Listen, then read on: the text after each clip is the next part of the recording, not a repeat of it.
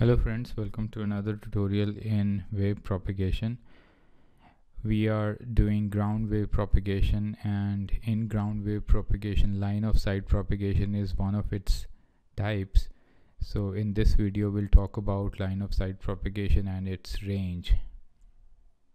So let's get started we define the line of sight propagation as the distance that is covered by a direct space wave from the transmitting antenna to the receiving antenna. And to illustrate that uh, we take into account the curvature of the earth and we draw a transmitting antenna of height ht then i have drawn four receiving antennas r1 r2 r3 and r4 now please look here in order to transmit the signal from T to R1 no specific effort is required because uh, they are pretty close to each other and we can directly send the signals as the transmitter and receiver can see each other.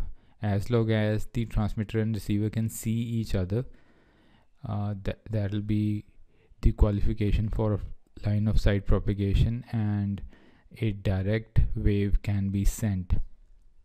Of course, the frequency of the wave will play a deterministic role in whether that wave could travel that distance or, or not. Now let's look at the receiving antenna 2. It also falls into line of sight propagation. Just barely falls into the line of sight propagation and the height of the receiving antenna 3 is significantly larger as compared to R2 and that is what is making it fall under the uh, line of sight propagation uh, category because now T and R3 can see each other. However R4 uh, is a bit short in length as far as line of sight is uh, considered. It needs to be of very very significant height in order to counter the curvature of the earth for line of sight propagation. So you can see that the curvature of the earth plays a very important role in determining the range of line of sight propagation. And that is what we are mathematically going to calculate.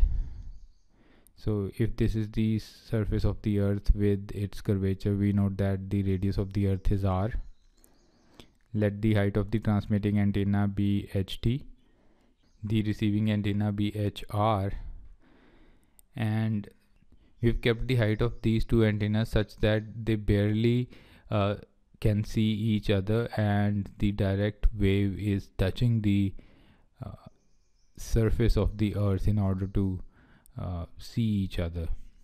The total distance is d and uh, which is further split up into d1 and d2 so we've got right angle triangle made here and the mathematics become very simple in triangle OAB we know that d1 square plus r square is equal to r plus ht square.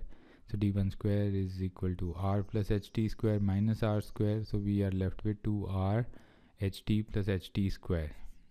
This term is pretty large as compared to ht square because the radius of the earth is around 7000 kilometers. The above expression reduces to d1 square is equal to r ht and d1 becomes 2r ht under root. And similarly operating on the right and similarly operating on the right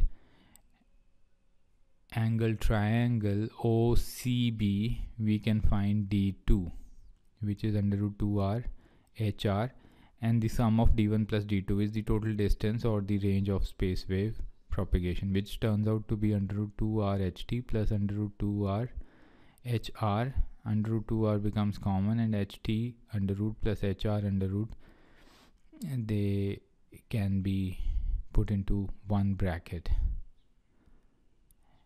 Now we know the radius of the earth is 6370 kilometers. So expressing in terms of meters you can put a 10 raised to power 3 or if you do not wish to keep it in meters then uh, this becomes 3.57 and this whole expression can be written in terms of kilometers.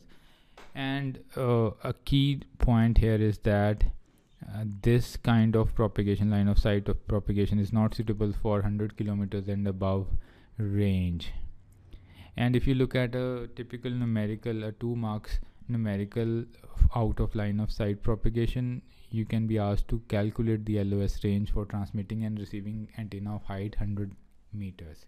So you can directly put in the heights here. And because of this 3.57 expression uh, the answer will turn out to be in kilometers. So 71.4 kilometers is the range of the line of sight propagation which is well within the limits of 100 kilometers range suggested uh, by the experts. So this is how line of sight propagation works. The transmitting and receiving antennas they need to see each other and the curvature of the earth plays an important part.